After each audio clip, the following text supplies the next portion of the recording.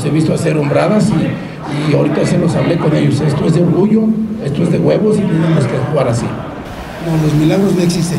Creo en el trabajo, creo en el gran orgullo que tiene este equipo, pero no estábamos concretando lo que, lo que estábamos generando. Después es muy pronto la expulsión al minuto 7, después del gol otra expulsión y eso te da coraje que no sepamos contenernos como para poder saber que vamos perdiendo 1-0 y quedándonos con 10, no podemos cometer este tipo de tonterías.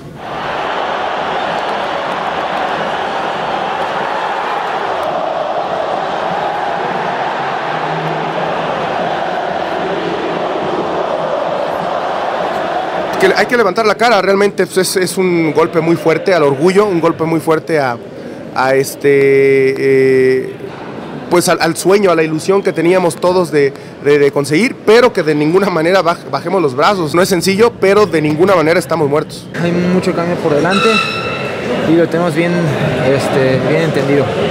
Es un equipo en el que no le puedes dar chance y allá, bueno, va a ser otro partido. El equipo nunca, nunca se desordenó, cosa que nos había pasado ahí en Veracruz, entendió, eh, eh, aceptó ese error que había cometido, ahora fue inteligente y bueno, ahí está el fruto.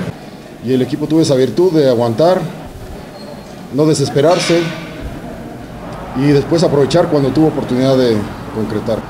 Es un gran resultado y, y debemos seguir pensando que nada está definido hasta, hasta la vuelta que hagamos un buen partido.